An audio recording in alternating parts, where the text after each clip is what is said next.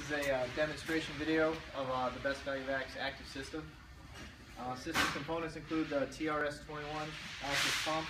You'll need a vacuum pump, uh, some type of storage slash reclaim tank. You'll get the uh, gauge manifold, and soon it'll be the uh, MT69 molecular transfer manager from CPS. To set up the system, simply all you do is start out. Um, right now, I'm, I'm just going to use this hot plate for uh, my heat source for right now. Typically, I would recommend using a hot water bath. Um, but I'm just going to use this induction top just to make things a little bit easier in the video. Um, as far as your tank, you're going to want to have that in um, ice water during the reclaim portion of it.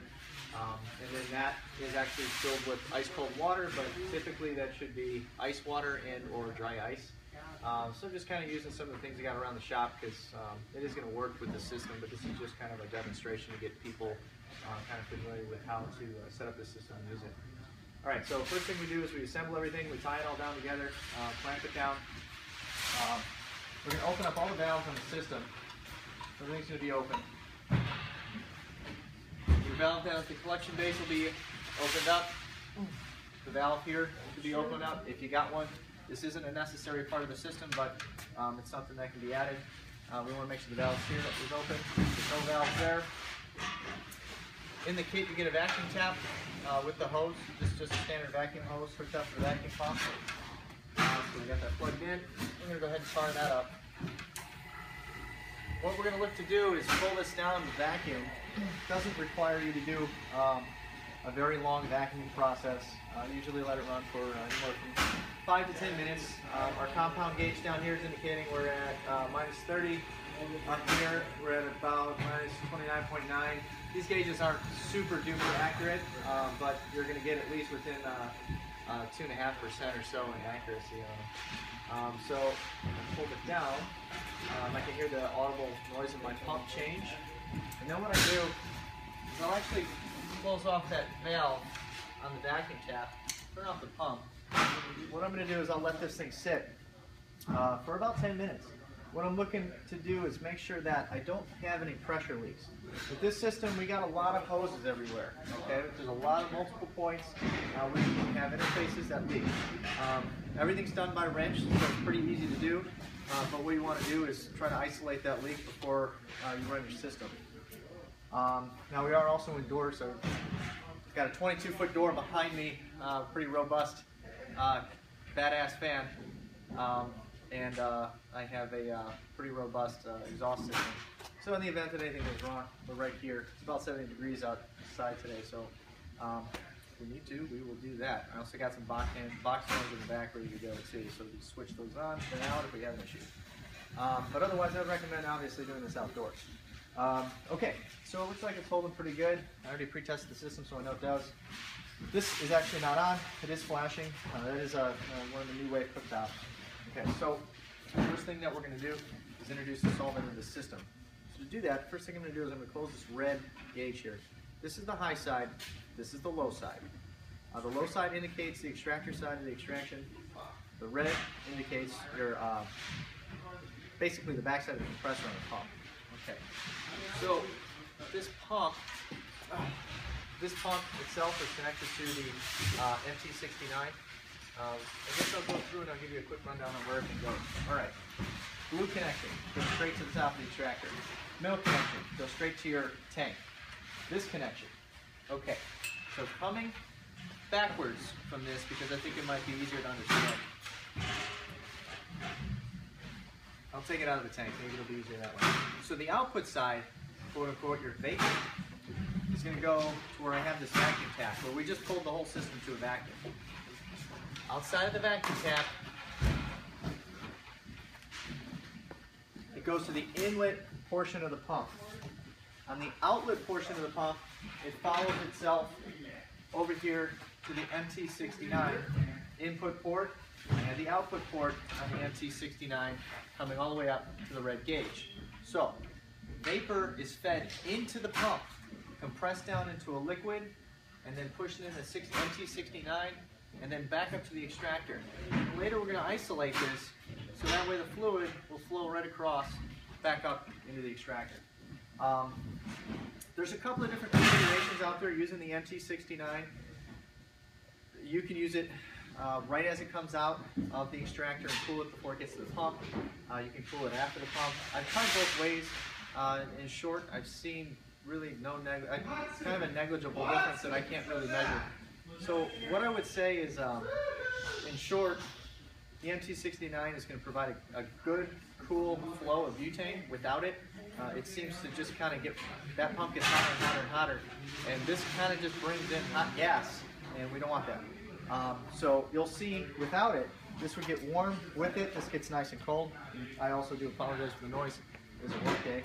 Um, okay, I do have a sight glass down here, but I'm just kind of using it to monitor where my butane is. All right, so everything's hooked up. Kind of explain how you're to set everything up. I'm going to explain to you how these gauges are going to get set in a minute, um, but we're going to fire up the system. So, blue valve open, this is open, the collection base is open. There's no valves here, so this is the only valve that's closed right now. So I'll actually open this up. What I like to do is I prefer to use the blue valve. You don't have to. The red valve is uh, connected to a dip tube, um, which will pull the liquid. Um, I kind of just got used to doing it this way, and I like it. So I just crank that on. You can see the butane is flowing quite rapidly in the deluge down. And I will let it fill until it stops.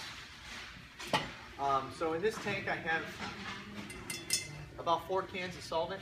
Um, so I'm just going to let this thing fill. This tank is probably near empty. Uh, if you have a larger tank or a larger system, one of the things that you can do is at this point, we can flip on the MT69. It provides a vacuum uh, about, uh, as I recall, uh, anywhere from 10 to 22 inches of mercury vacuum pull. It's not a complete vacuum, but it has enough pull that will help pull some of this out of the tank. The only problem is, if you were to open up this valve and this valve, it doesn't know that it should pull from the tank. So you kind of got to toggle this valve to get it to continue to suck and pull through. Um, but that uh, will be kind of um, something you'll need to look at uh, when you're actually doing your extraction. If you unload this tank into it, you see water, I'm sorry, uh, solvent flow through, then you know that you have enough in the system. So anyway, um, in this case, I know that there's enough in the system for what I'm trying to do. I close off this blue valve. It's done. So right now, I have a whole bunch of solvent that has run through. It's in the collection base. What I'm going to do now, I'm actually going to turn on my heat here. I'm using 110 degrees Fahrenheit. And then what I'm going to do is go plug in this MT69 slash TRS21 combination. Get this on. Now, as we said, this valve is closed. So right now, what we got to do, is we got to open this valve, and we got to toggle it open to produce uh, about 45 to 50 psi seems to kind of be the sweet spot. So what's going to happen is you'll see this. This is a needle valve too, so you're to slowly just kind of wait until my valves are open wait a few minutes and we get to start to see this thing flow.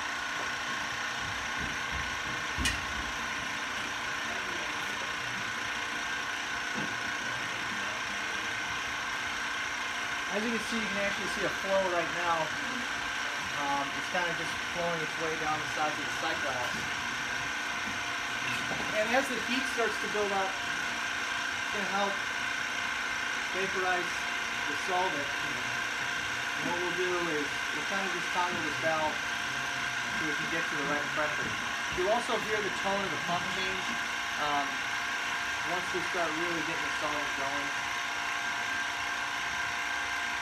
What we're doing with this valve is there is no valve on that recovery pump.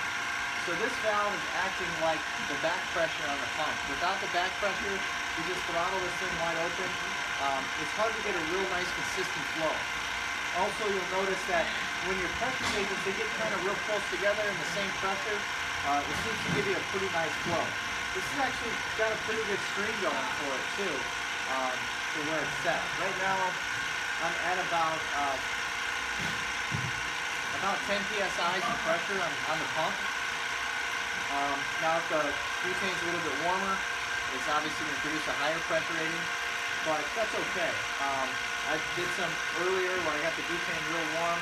Uh, right now there's no material in this column, so we're just running straight butane through it.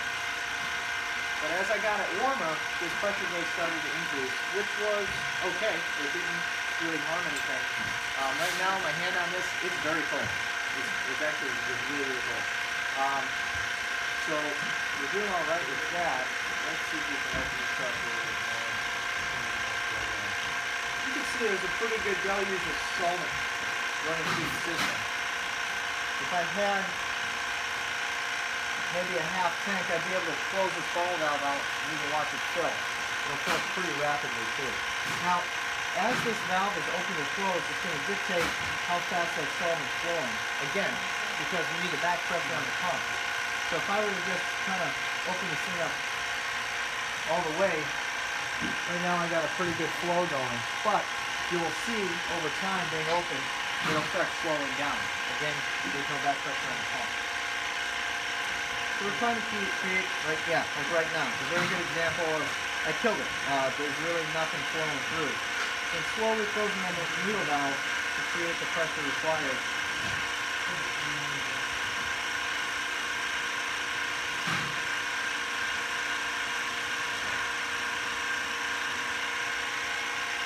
There's the tone change. I'm going to slowly let off.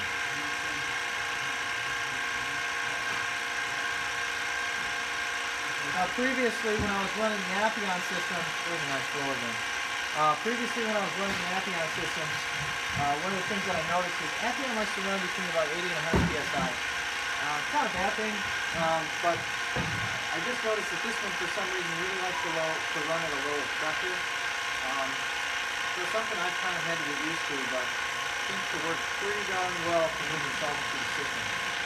Another thing you can do if you have one of the collection bases the sight a little light helps kind of see where you're at. When you look in there, you can see the butane boiling off, uh, partially because of the vacuum, and also because the solvent is being hit with heat. Okay.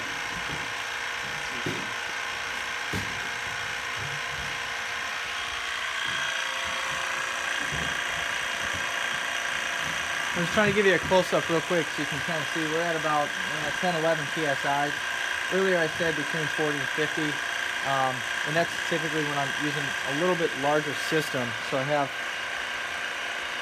a lot more solvent running through it, a lot more heat being built up. Uh, this being kind of already cold, it's obviously running a little bit cooler temperature, which is good. All right, so then let's assume we've provided, we've already completed doing what we need to for the uh, extraction. What I'm to do is show you how we're going to set up the system to take it back and get it out. So the first thing I'll do is I'm done. I see my liquid go clear. I'll open up the valve on my tank. But the problem is the system doesn't know where to put it. So you start by closing off this valve. And what we've done is now we've isolated it. No, the solvent needs, going to run down this way. Now solvent is still being pulled from here. I usually just wait a moment, kind of look at the sight glass, make sure it's cold and dry. And I can close this valve when it's. Um, right now, I'm just going to take a peek, see where we're at down here.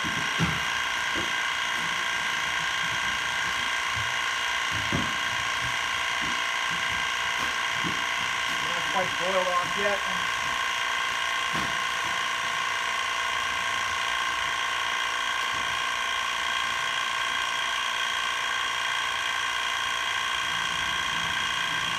What we're waiting for now is for the pump to recover this the tank.